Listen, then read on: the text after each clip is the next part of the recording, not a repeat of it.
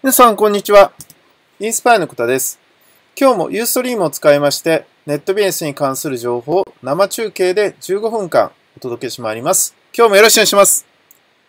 はい、今日はですね、えー、月末になってきました。えー、これも恒例になってきたんですけど、えー、今月に投稿しました、まあ、リピートする秘訣ということで、えー、大体3分ぐらいの動画を、えー、ハウツァーのレビュー動画っていうところで撮っているんですけど、その中に、えー、紹介した今月分をですね、まとめて今回はえお話ししたいなと思うんですけど、えー、今月はですね、ちょっと少なかったんですけど、8本、えー、動画を撮りました。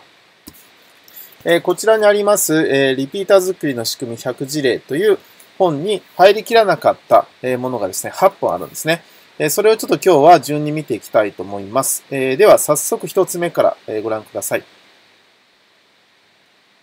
はい、えー、まずはですね、こちらなんですけど、えー、リピートする仕組みということで、時間型、えー、旅館の部屋に頒布会、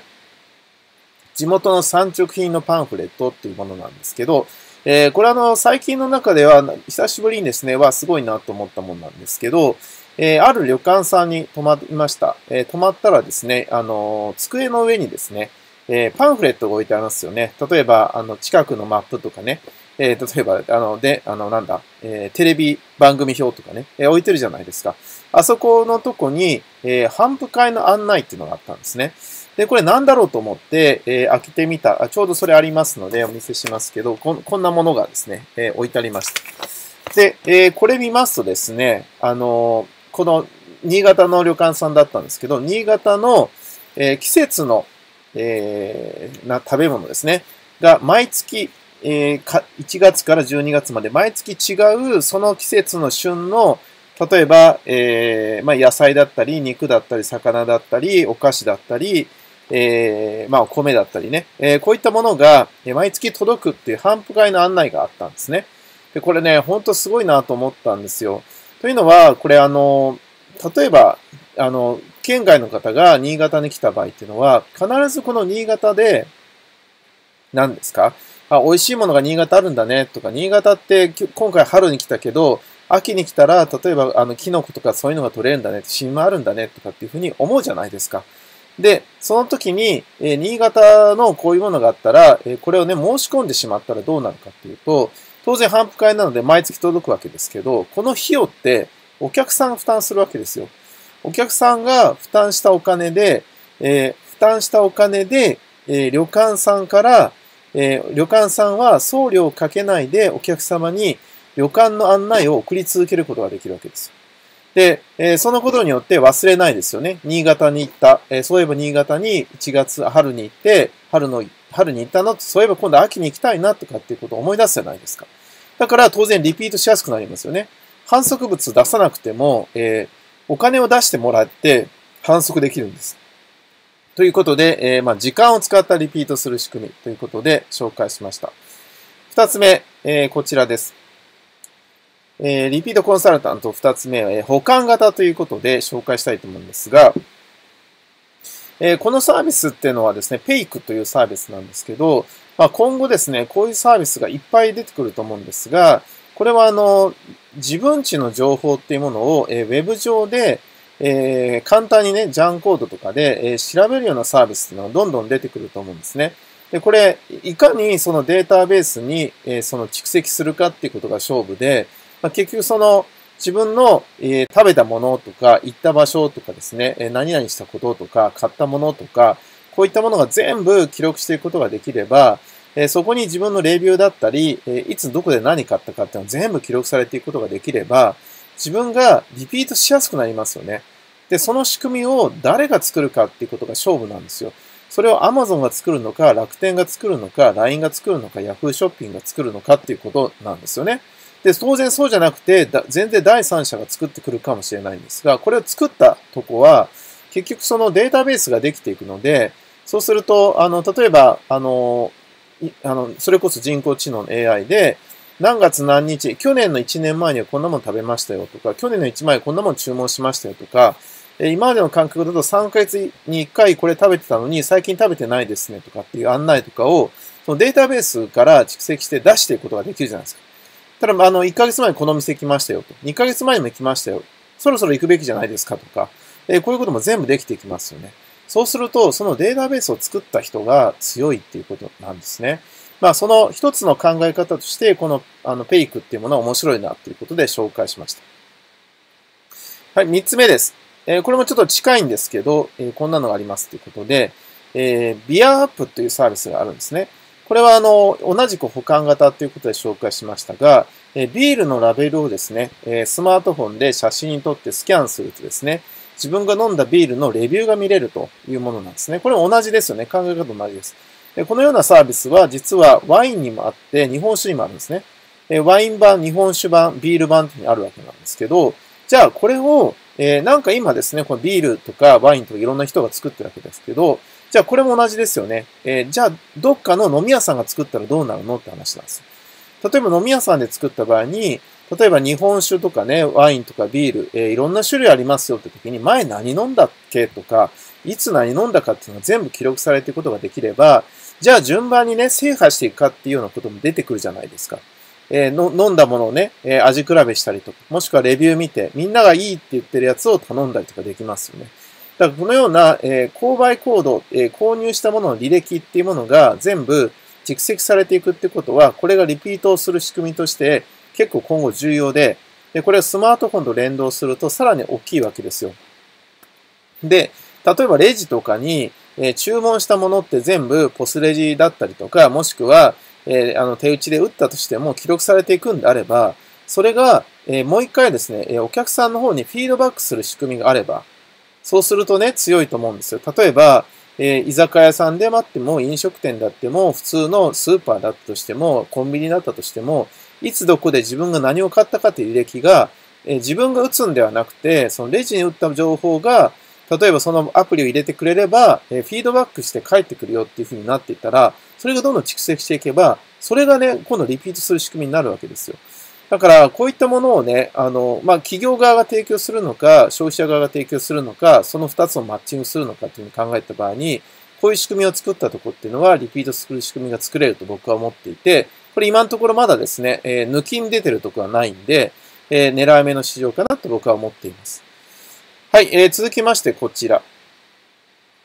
はい、これもね、出ましたよってことで、えー、Amazon ダッシュ、えー、レフリニッシュメントって読むんでしょうかね、っていうものなんですが、えー、これあの2、二つ目なんですけど、その Amazon さんが出した、えー、1つ目がトナーと連動して自動発注する仕組みっていうのを取り入れたんですけど、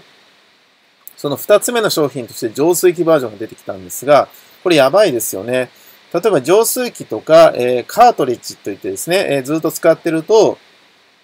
交換しなきゃいけないものって出てくるじゃないですか。で、交換するものが出てきたときに、あ、そろそろ交換だよと思った場合に、Amazon さんは、例えばこれブリタだったりしたら、ブリタじゃないので、えー、普通であればメーカーさんにね、え、直接注文が行くってことがあるわけですよ。で、メーカーさんが今定価で売ってるから、あの、例えばどっかね、定価じゃないとこがあったら定価じゃないとこで買うかもしれないけど、えー、これあの、アマゾンが、あの、あ、じゃなくて、このメーカーさんしか売ってなかったら、メーカーでしか買うしかないわけですよね。で、それだとアマゾン儲からないので、結局どういうふうにしたかっていうと、自動発注の仕組みを作っちゃったんですよ。もうある程度、そのカートリッジがこういう状態になったら、もう自動的に発注すると。で、この浄水器っていうのは、これあの、電源がないんですよ。つまり、あの、あの、プリンターとかみたいに、え、電源が挿してる状態じゃなくて、え、コンセントがないように使ってるものであったとしても、そのカートリッジにセンサーがついていて、え、電池が入っていて、その電池が5年ぐらい持って、その電池がある限り、え、Wi-Fi 環境であれば、勝手になくなったら自動発注するっていう仕組みになってるんですよ。そしたら、あの、もう、あそれができた瞬間にはすごいなと思いましたよ。つまり、今までは家電製品しか例えば、あの、パソコンとかね、あの、Windows そろそろで新しいの出ますよ。Windows 10バージョンアップしませんかとか、えー、プリンターのトナーが切れかけましたよとかって案内出るじゃないですか。で、インターネット繋がってるからインターネット注文するみたいなあったのが、インターネットじゃなかったとしても、このようにまあ IoT っていうんです、IoT っていうのかな、その、えー、ものに対してインターネット繋がる環境のものが、えー、電池一つでできるようになったっていうことは、かなりね、これから世の中が変わってくるなと思ってそうするところもずっと Amazon なんですよね。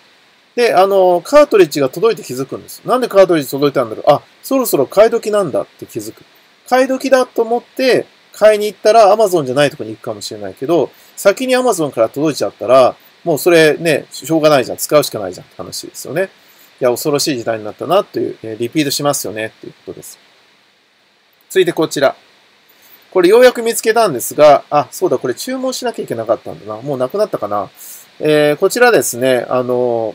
金属、あの、時計にですね、金属板のカレンダーつけるっていうのがありましたよね。で、これは、その、習慣型っていうものなんですけど、ずっとね、えカレンダーを見るという習慣、つまり腕時計をこうやって見るという習慣がある限り、そこにカレンダーがあったら見るわけなんだけど、腕時計をつける人が減ったからなくなったと言ってたものが、今日本でここだけしか作ってないというですね、えー、ものがあるんですね。えー、こちら、大勢さんってとこなんですけど、この間、え、注文しようと思ったら発売しなくて、そう、注文しなきゃいけなかったですね。これあの、ちょっとネタとして面白いので、え注文しようかなと思っています。え皆さんもよかったらね、参考にしてみてください。つまり、みんなが習慣になっているとこに、自分の商品名、サービス名が入ったものがついてれば、忘れないからリピートしやすくなるよと。じゃあみんなが習慣になっているものって腕時計がなくなった今何なのっていうことですね。えー、みんながいつも見てるものって何なのって、そこに自分の広告出すにはどうしたらいいのっていうふうに考えると、リピートしやすくなるよというものです。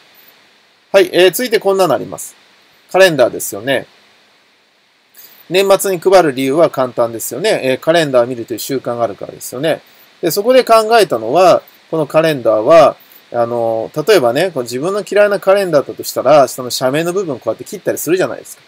なので、切られないようにするために、右側のようなものが今出てきていて、面白いんです。2ヶ月連続カレンダーになってるんですけど、普通なら2ヶ月目の下に社名が入ってますよね。そうすると下の部分だけ切られるじゃないですか。これあのね、真ん中に社名が入ってるんですよ。真ん中に社名が入ってるので、社名の部分切ったら、あの、半月分、あの、半年分がバラバラに落ちちゃうので、えー、落ち、落ち、落ちないようにするためには切れないわけですね。でも真ん中に入ってたら、カレンダー2ヶ月に1回めくらなきゃいけないかとそうではなくて、これあの、下の部分をね、こう今2がちょっとはだけてますけど、2の部分を切ると、えー、1月、2月になると、今度2、3で見せたいわけですね。2月のを切って、上のところに走れるようになってるんですよ。1月の上に。そうすると2、3になるんですね。で、今度、えー、3月になったら、えー、剥がすと今度3、4になるというような形になってるんですね。面白いですよね。はい、えー、続いてこちら。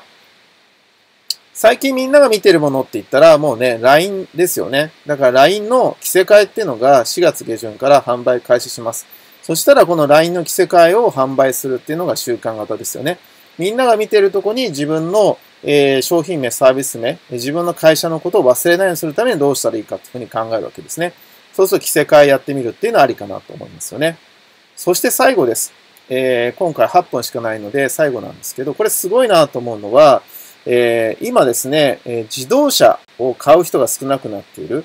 で、えー、問題は駐車場がないっていう問題もある。駐車場が高いっていう問題もある。えー、車を買うにはお金がかかるって問題がある。えー、車を買ったら買うんだと保険がかかるって問題がある。じゃあそれらを全部ひっくるめて一つのサービスにしちゃえっていうのを今タイムスっていうですね、あの自動、あの駐車場屋さんが考えた仕組みがね、これからできようとしています。これがあるとどうなるかっていうと、車買ったら、えー、車のローンがかかる。で、ローンがあるんだったら、もうタイムズに自分の車を預けちゃえ。まあ、投資しちゃえって考えなんですね。投資したら自分が使ってない時に誰かが乗ってくれれば、そしたらね、お金が入ってくる。しかも駐車場代はいらない。で、もしかしたら保険代も賄えるかもしれない。そうすると、高い買い物は全てこういうシェアリングサービスに預けておけば、そうすると自分の商品が買わなくてもいいような仕組みができていくんじゃないかっていうふうに考えたわけですね。で、こういったものがどんどん出てくると、あの、物が売れなくなるし、えー、一つのものをね、あの、リピートする、えー、この仕組みを作った人が勝つというものな、えー、勝つというね、時代になってくるなっていうことで、まあ、ちょっとこういうような視点って、え今後持っていく必要があるのかなっていうふうに思っています。はい、えー、ということでですね、えこのようなリピートする仕組みに関してですが、もっと知りたいっていう方はですね、えこのように100事例のセミナー映像を、え販売しています。え3時間にも及ぶ映像を、え今回5000円という値段で販売してますので、よかったらこちらの方ですね、えリンク先貼っておきますので、え申し込んでいただければなと思います。しかもね、えー、30分かな、えー、コンサルがついて5000円ですので安いですのでね、ぜひ申し込んでみてください。インスパイのクターでした。ありがとうございました。バイバイ。